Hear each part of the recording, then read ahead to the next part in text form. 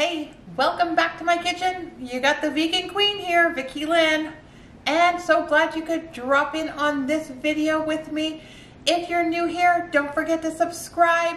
I do starch solution friendly, plant-based meals, meal preps and videos, all recipes.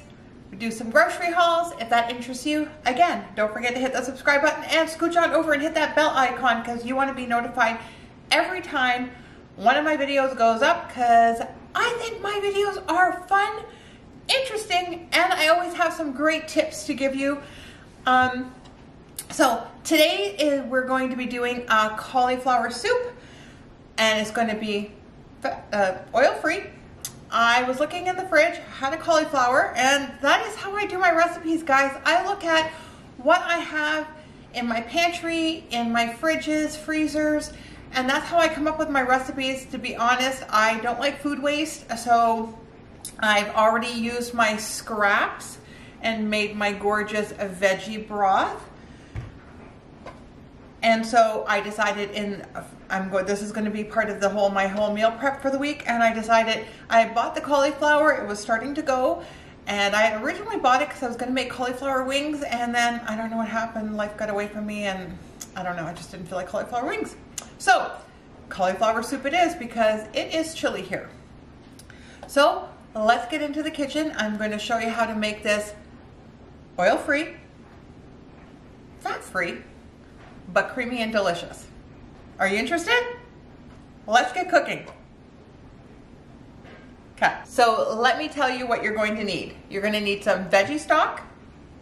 If you don't have veggie stock, again, you can use water and bouillon cubes, any uh, obviously vegan bouillon cubes. And there's some great stuff out there like better than bouillon has the veggie the chicken the beef.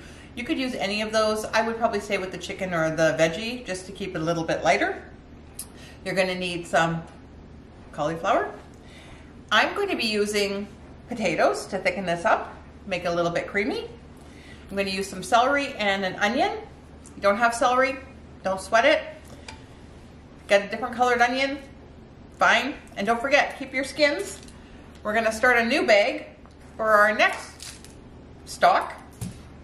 Um, some spices, and again, you can mix yours up. I'm gonna use a little bit of nutmeg and some thyme. We're gonna use some fresh garlic, because that's gonna be lovely. And then after we blend it, we're going to see if we're gonna add maybe a little bit of soy milk or not. Now you could do this recipe with cashews. I like to give you different varieties, guys, because I want you to make these recipes your own. Be have fun in the kitchen. And it depends on what part of the journey you're on when you're following the Starch Solution too. If you're trying to do the maximum weight loss, leave the cashews out. Put the potatoes in. It'll still be thick and gorgeous.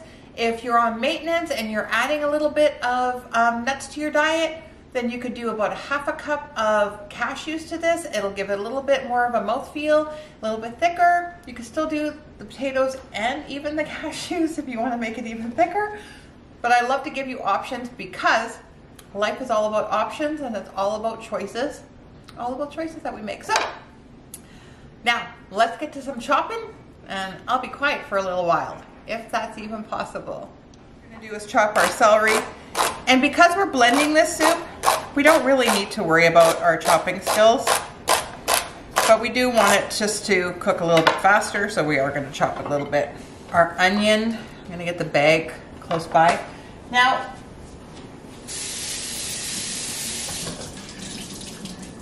I did hear something that if you keep a wet cloth while you're chopping an onion, it's supposed to help with water your your eyes watering and stuff. I have a really hard time with this.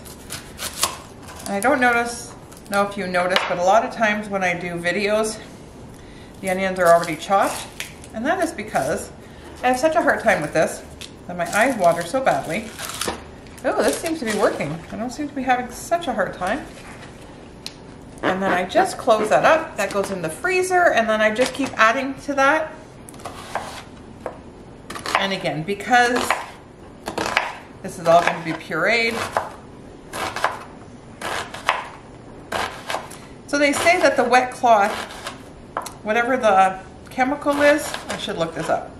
Whatever the chemical is in the onions, Seems to be helping. Pulls towards the wet cloth. We're gonna put that on our plate. And now we're just going to chop up our garlic, nice and easy. We just need like nice slivers. Here we're just going to be peeling our potato and we're gonna just cut it up into little pieces because we're gonna cook it in with our soup. Nothing too fancy. This is what we're going to be using as our thickener and that's what's gonna make it nice and creamy. Now we're just going to cut up our cauliflower, just break it apart, and we're just going to cook this in our broth so it doesn't really matter on the size. And use your stems because it does add to the volume and to the texture. Now we're going to heat our pot and we're going to add a little splash of water so we can water saute our onions and celery and garlic. And we're going to let that go.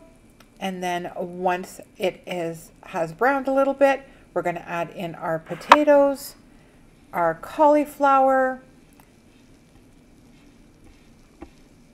Make sure you get that all in there. Yes. And then we're going to add in our stock. I'm using my homemade stock and you're going to notice my stock is very dark and it is going to make my soup look very dark. But this is my homemade stock and of course I'm using all the skins from the onions and everything and that's why it's that rich luscious color.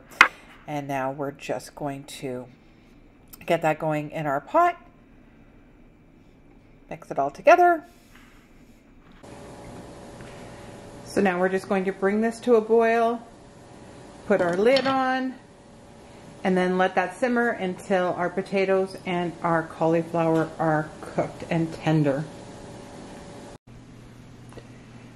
So we're just going to check and our cauliflower is nice and tender, exactly what we want. At this point, I'm going to add in my spices.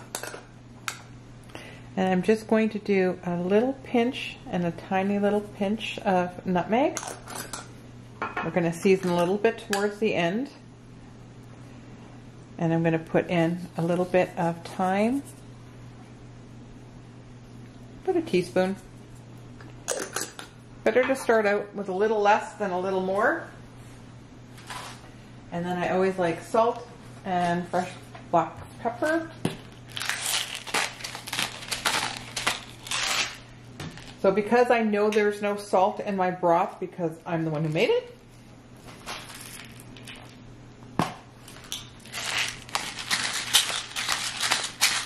Now if you're SOS, you can leave the salt out, totally up to you.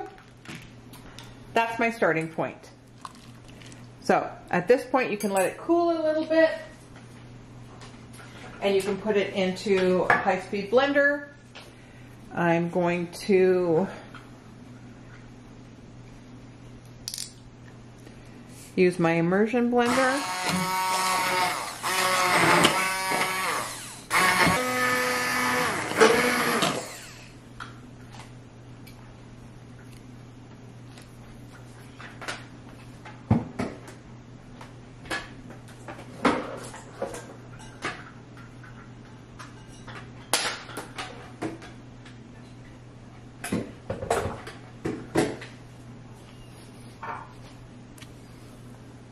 Now you can see how nice and smooth that is.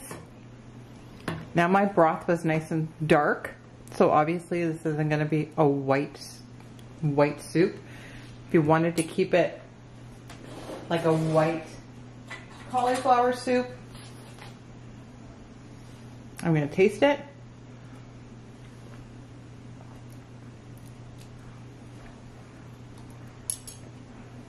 I think it needs some salt.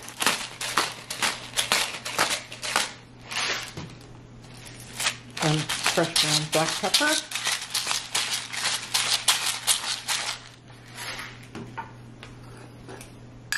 Touch more thyme.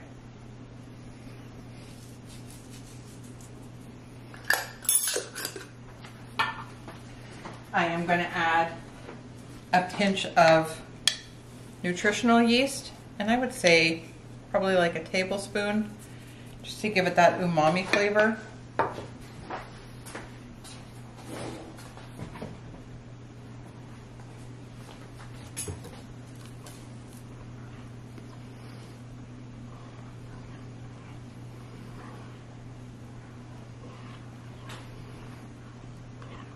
Doesn't it look delicious? And there you go. A healthy, hearty cauliflower soup. Oil free and delicious. Hope you guys have enjoyed this one. I'm going to be around with more videos, guys. It's happening. And again, go for a walk. Take care of yourself. Take a couple of deep breaths. And don't forget, love yourself the way you are. So here's our cauliflower soup. Great way to serve it. I've got these little plantain croutons. They're spicy sriracha. They're delicious. Or you put regular croutons on top. Add a little bit of crunch to it. Or some spicy chickpea, roasted chickpeas would be great. Regular croutons, just to add that little kick to it. Hope you've enjoyed this one, guys.